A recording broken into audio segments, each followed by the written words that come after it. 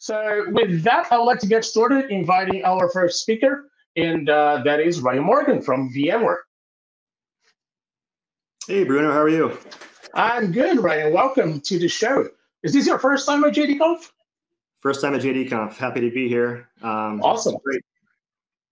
Awesome. Yes, that question is tricky because this is the second JDConf. It's not like we had 10. So it's kind of like weird asking that question. But uh, I'm excited to be here with you because uh, today we're going to talk about um, uh, how VMware uh, has been uh, helping evolving the Spring community and uh, also how the Java evolution is helping Spring developers and other things that we have put some nice notes behind the scenes to talk about. So why don't we introduce ourselves first? And then uh, for people watching, uh, Ryan and I will have this chat for uh, the next 25 minutes.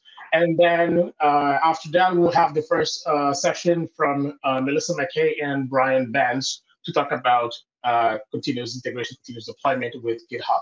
So Ryan, please introduce yourself. Great, thank you, Bruno. Yeah, my name is Ryan Morgan. Uh, I run engineering here at VMware for developer ecosystems, which is our investments in uh, the Java ecosystem as well as our .NET investments. Uh, I've been a part of the Spring team since 2009 and have been managing the team uh, since 2016 or so. So I've been here through the, the transition through Spring Boot and Spring Cloud, as well as all of our uh, our collaboration with Microsoft on on all the work that we're doing with uh, the, the, Spring Cloud starters for Azure. All right, awesome. Yeah, uh, I've been a Spring developer myself uh, before I got into this vendor ecosystem. Like, let's build technologies for our users. I was a Spring user developer uh, around 2000, between 2005 and 2012, and uh, I did see a lot of changes. so why don't you tell us like this this journey that the Spring uh, uh, went through since its inception and where it is today and where it is going? Certainly, uh, yeah. So the you know I've really kind of break down the, the the Spring timeline into maybe three different kind of eras, right? So Spring's been around for this will be our 20th year. Uh, I would say the first 10 years or so was really kind of transformative as we introduced dependency injection and just kind of a new way of, uh, for developers to to write code. Uh, starting in around 2013 or 14 was really the second generation where Spring Boot became uh, became more popular. Um, you know, folks wanted to run kind of self-contained applications, uh, and that really kind of enabled uh, those applications to be run out on the cloud, right? Uh, from there, you know, we kind of had a, ho- a, whole host of other problems that we had around coordination of microservices, uh, which uh, we addressed with Spring Cloud. Um, and really now we're kind of entering what is almost the third act, right? So we're seeing more and more, you know, use cases around uh, kind of edge and functions. Uh, there's, you know, things around latency and, uh, you know, kind of density in, in terms of, of, of how you deploy your applications. And we're really kind of addressing that with uh, the upcoming Spring Framework 6 and Spring Boot 3 releases here at the end of the year. So, so Spring uh, Spring 6 is coming out, and uh, what I what I read recently is that the baseline will be Java 17, which is like the latest and greatest LTS release long-term support of Java. So, uh, uh, and, I, and I also saw this New Relic report about Java adoption out there. Um, what are some of the like what is interesting for Java developers, Spring developers to be aligned with these modern Java story, and uh, where where where the catch for Spring Cloud native developers uh, as well when, when it comes to cloud deployment.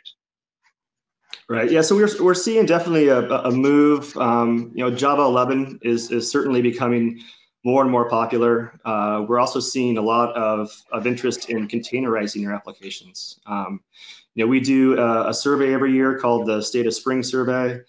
Uh, in between 2020 and 2021, we saw an increase from 44% of all applications are being containerized up to 57%. So we're seeing more and more of, of, of this kind of trend um, towards containerization, towards, again, concerns around just the, the, the footprint and, and startup times and really that's kind of what we're doing here with with uh, Spring Framework six and Spring Boot three, right? So the to go to your original kind of uh, question around Java 17 is, you know, really what we're trying to do here is kind of prepare the the Spring developer for the next 10 years, right? So it's really kind of a, a transformational change um, in, in, terms of kind of this rebaseline on Java 17, as well as a, a rebase on Jakarta EE. So that's, that's, another big change that's coming as part of uh, Spring Framework 6 and, and Spring Boot 3.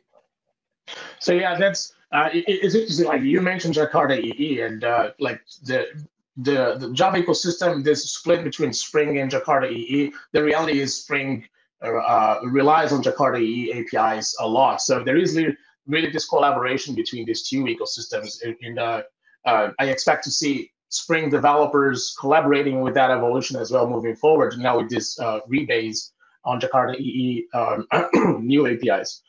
Um, I was uh, when we had this chat before. We spoke about uh, the best website in the world. It's start.spring.io, and uh, I wanted I wanted to hear from you. Like, like what are some of the numbers that that that you guys see uh, through this this gateway to the internet of Spring developers. Right. Yeah, it's Josh Long's uh, second favorite place on the internet, I believe. Um, I think his, his favorite place is production. Um, uh, but yeah, we, we do get a lot of information. You know, so start.spring.io is is uh, a way for uh, developers to bootstrap know, new applications. Um, you know, through that we get about uh, 1.6 million projects generated per month. Uh, so we do get quite a bit of data on just what the community is doing.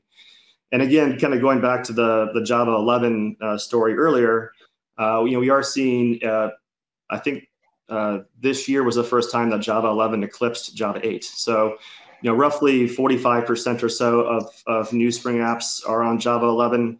Around 40% are on Java 8, and then we're actually seeing a, a, a, rapid increase in usage of Java 17. So that's up to 10%. So it's been interesting to kind of see the uptake um, uh, of usage of, of, Java 17 already.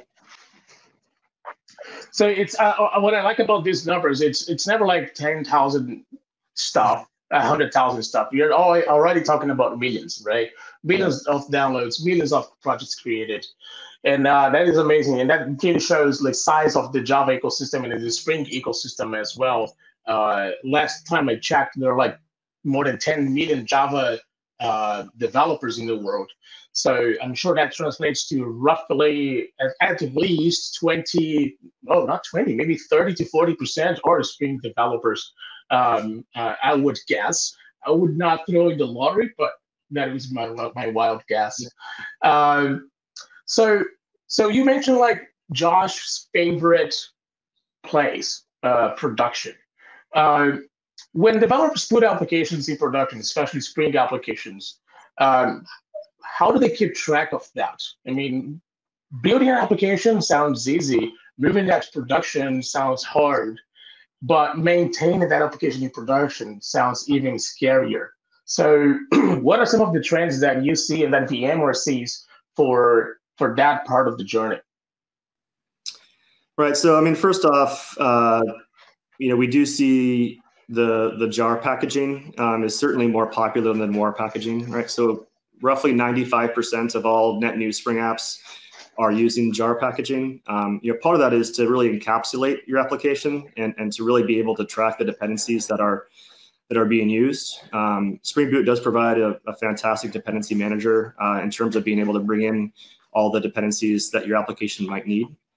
Um, but beyond that, um, you know, we we do see that you know overall applications are getting more and more complicated, right? Uh, the introduction of of clouds, uh, hybrid cloud, multi-cloud. Um, there's there's so many different ways that that folks are deploying applications today. Um, so one other thing that we're doing as a part of the Spring Framework 6 and Spring Boot 3 releases is really a refocus on observability, right? So we have Micrometer, which is a, a fantastic library that we have for uh, being able to collect and, and, and publish metrics to a variety of different systems. I believe that today we support around 19 different backends uh, for Micrometer. Uh, but we're taking that one step further. And uh, with these upcoming release, we'll be folding in uh, distributed tracing as well. So we have a project called Spring Cloud Sleuth, uh, which has been used to uh, to enable that that feature. That's moving directly into Micrometer, and then the entire portfolio is getting kind of a um, a direct integration with Micrometer. So we're going to have a much better story around observability coming uh, here in uh, these new releases. Okay. So, so with observability, there is, I think there is this interest in, in, in better efficiency, right? You keep monitoring your application in production, you keep seeing how your application evolves, and then you try to identify the points where you want to make it better. And uh, I, I see this trend about going native, going like not not necessarily cloud native as Josh preaches for the past two decades, but really like going native in terms of runtime. So what is what is a, a Spring's roadmap for that? Yes, this has been a, a, big focus of the team the past uh, almost two years. Um, you know, at Spring One back in uh, late 2021, uh, we announced Spring Native. Uh, at that point, it was 0.11, I think that was released. And really, what that was is an experiment that we were running uh, around a new AOT framework uh, for Spring. Uh, we had recently now just moved that into the core, uh, you know, Spring projects, and it's going to be a, a, focus area for uh, Spring Framework 6 and Spring Boot 3 uh, going forward. So what that gives users is a couple things. So one, it does allow native compilation of your Spring applications down to native executable. So this is a, a really important uh, I think, use case or a feature um, for, again, those low latency type use cases where you might need to start in a few milliseconds versus the traditional JVM startup time of maybe you know a second or more. So that's one area where I think there's a, a lot of, of, opportunity for us. Um, uh, but uh, the interesting part about all this is that all the work that's going in uh, to enable uh, this native compilation also is going to benefit the traditional you know Java developer on the JVM, right? So we're seeing you know increased uh, startup time or decreased startup times, you know anywhere from like four to to twenty percent. But we're also seeing a, re- a reduction in RSS memory as well. So really the work that we're doing around native is going to benefit really all users of Spring, whether um, you're on the JVM or you're deciding to compile down to a, to a native binary.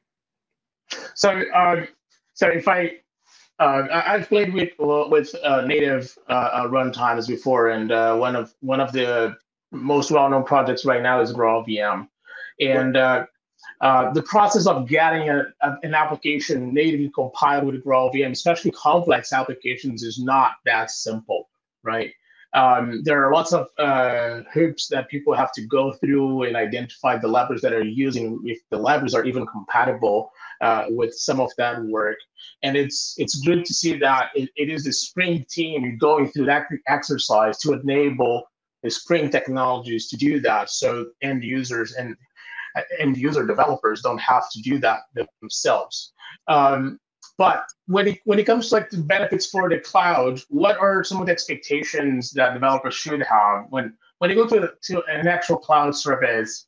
Uh, let's say they go native or they stick to the JVM what are some of the expectations of developer experience and what what what developers actually want to get from a cloud service?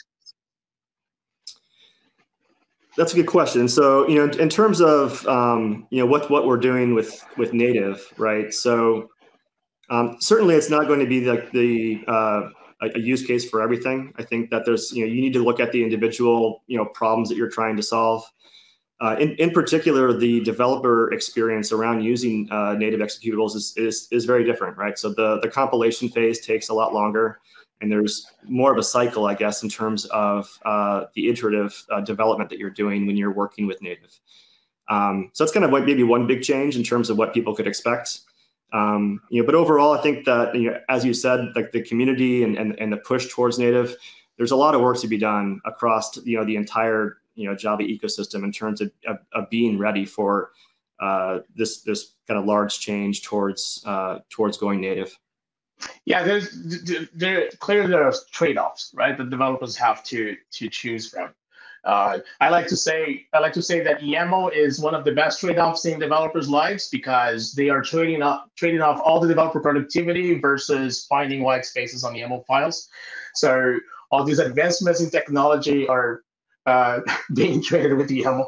So I yeah. think when it comes to native and the JVM hotspot, it's a similar uh, discussion, right? I'm, I'm, gaining on this, but I might be losing on this. So it's important that developers understand uh, what true, what what is the true benefit for their particular application, right? Of course, we all want things to go faster, but it's also the question whether you want to go faster. Uh, uh, you you want to go faster at the beginning, or you want to go faster the, on the long run. Um, yeah. So so for cloud applications, we see this trend about deployment on Kubernetes or services where you have this horizontal scaling to uh, support demand. Um, and uh, I think that for that native is quite interesting. Do you see um, do you see um, this this customer exercise this this developer exercise where should applications scale out, should applications scale up? Where are they gaining startup time, tail latency? Where where does even like how does VMware deal with that those sort of conversations with customers? Right. So the this is another kind of uh, maybe benefit, right? So the the native story that we have, um, you know, the scale out horizontally is, is certainly something there that where you can, you know, really rapidly, uh, you know, create new instances to to handle new new traffic. Um, and maybe going back to your your previous comment, just around you know all these trade offs that people have to go through. Um, you know that's one of the areas where you know we do try to reduce the toil for developers. Um, you know we are big believers in build packs. Uh, in fact, I believe in uh, Spring Boot 2.3, we introduced the build pack support directly into the Maven and Gradle kind of lifecycle. So you can actually be creating your containers, you know, directly from your command line, and then uh, also taking advantage of all the other kinds of, of deployment options that we might have. So there's a there's a build pack for doing native images. Uh, there's ones that um, are experimental that will layer application code in different uh, layers in your container from maybe the dependencies. And that allows you to do things like upgrade, uh, you know, your version of, of Java or upgrade dependencies without really needing to repush your application code. So there's a lot of things here that the that the, the Spring team kind of thinks through and, and tries to kind of reduce that toil for developers. Um, and that's really kind of what we try to do here at VMware is just make it as easy as possible um, to get your code from the laptop to you know to production. Right. Yeah. I did. I did play with a, a Spring Tool Spring Tool Suite. I think that is that called the yep. extension for Eclipse. Yeah. Yep. Spring Tools. yeah. And I think uh, even like on, on uh, uh IDEs are more like Maven focused, perhaps. Um, uh, Studio Code relies a lot on Maven and uh, just the raw build elements. And I think there are even like things for a Spring there that allows developers to have this more uh, like faster development cycle where they can just make changes and experiment with things. So it's it's nice to see that. Um, so uh, the last thing I think I'd like to touch with you is Azure Spring Cloud. I mean, it's it was a service announced uh, I think two years ago uh, right. or more, right? I think three years ago, and um, I wanted to hear like what what are the impressions so far? We, it's it's it's been GA for a while. Customers are using, developers are in love with the idea of having a managed service for Java applications and Spring applications. What are some of the benefits and what is the roadmap looking like? Yeah, so this has been a collaboration between Microsoft and VMware that's been going on for a while. Um, like all great collaborations, it started out in open source. So you know, back at uh, I believe Spring One, maybe even 2017 or 18, and we started talking about how do we get uh, you know developers on Azure more productive? How how can we create kind of the starters and, and connectors uh, so that Spring developers can consume Azure services in a real seamless way. And really, that kind of open source collaboration uh, almost kind of dovetailed more into a uh, more of a commercial uh, partnership between Microsoft um, and VMware. So, 2019, we announced the service at Spring One. Uh, this past December, uh, it went into public preview, so anybody can go onto uh, onto Azure. Uh, just search for um, Azure Spring Cloud. It's in public preview. We will have more details to share here soon. It's it's it's not quite in GA yet. I believe the GA date is, is set for uh, early in June. Uh, but really, we're offering the ability for really any Spring developer to essentially push their code, consume things like service discovery, things like distributed configuration, really all the things you would expect from Spring Cloud, but really have that be in just a, a managed way. So really all you need to worry about is your own application code itself. Um, there's a variety of dashboards as well, so you can visualize your applications.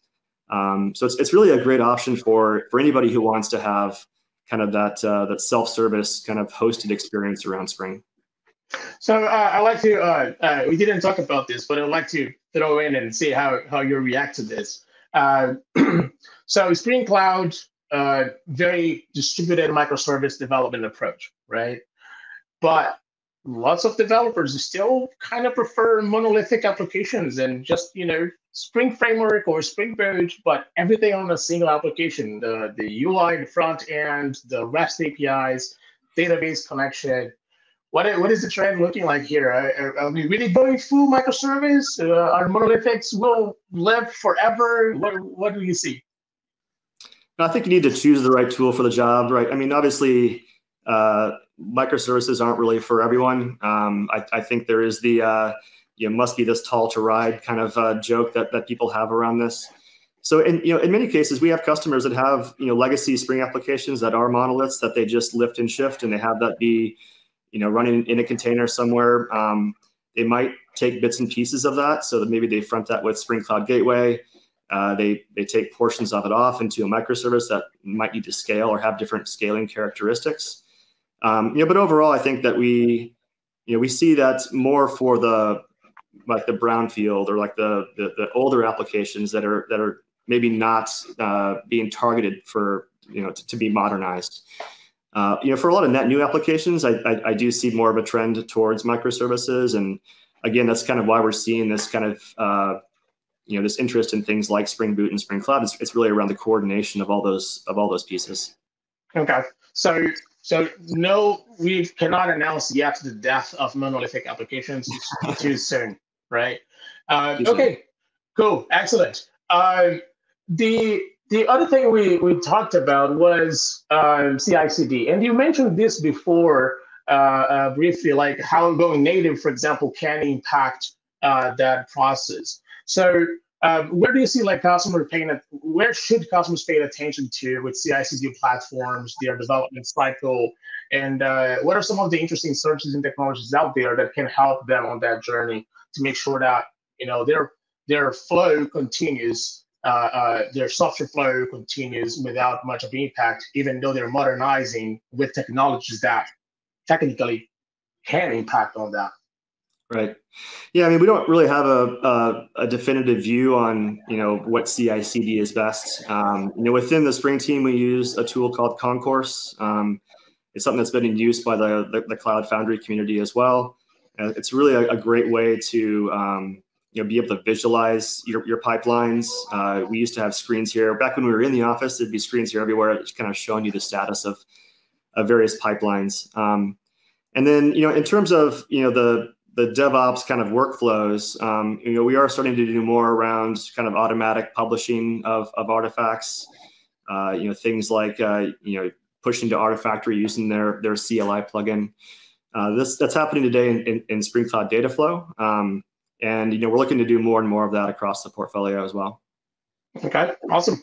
Uh, that we we are looking at we are talking about the calendar of conferences. And conferences are starting to get back. We couldn't do JDConf uh, on site, uh, uh, but conferences are coming back. I mean, this week is Jfokus happening in Sweden, and lots of Java community folks are there speaking and presenting. Um, what are some of the places that Spring developers should pay attention to to go and watch and learn more about the things that you you described here, like Spring Framework 6 and the future roadmap of, of Spring uh, technologies? Certainly, yeah. There's there's there's no shortage of, of conferences you can go to. Um, uh, Spring IO Barcelona is coming up here at the end of May. Uh, that's always been a, a, great conference, especially for those folks that are in Europe that can that can get there. Uh, we also have Spring One Tour, which is a kind of a mini series of, of Spring One that happens throughout uh, North America. Um, you go to Spring One Tour, or you can just Google Spring One Tour to kind of find the dates. But we're looking at uh, Toronto, New York, Seattle, Atlanta, and then Amsterdam um, towards the end of the year. And then uh, we are back in person this year for Spring One. So Spring One will be here in San Francisco at Moscone Center, and I believe that's December 6th to the 8th. So um, keep your calendars uh, marked for that one. Yeah, I'm, I'm going to book my travel right away uh, because uh, I really want to go back to San Francisco. It's been a while. Um, awesome. Um, um, Ryan, any any last message you want to give to folks watching or Spring developers? Like, what what excites you and VMware, and where do you want to see Spring developers at in the near future? Yeah, I mean, there's never been a better time, I think, to be a Java developer. Um, it's been, you know, really interesting here over the past couple years to see, you know, Amazon with with Corretto, you have Microsoft, and all the work that that you've been doing around uh, Adoptium and the you know in the Eclipse Foundation. So really, there's there's no shortage of of options for developers out there. Uh, we're also seeing just a, a an increase in, in overall Java developers across the world. So um, you know, it's never been easier to write Java code. It's never been easier to deploy it. Uh, again, Azure Spring Cloud, things like that enable you to to really get from you know code to production very very quickly. So it's it's a very bright future, I think, for for you know everybody on the JVM. And uh, again, I'm really happy to, to be here talking with you about it. Awesome, awesome, Ryan. Thank you so much for being here with us and. Uh, uh, stick with us actually for a little bit. We're going to introduce the next speaker, but I want to wrap up this call. So uh, thank you for being here. All right. Thank you, Bruno.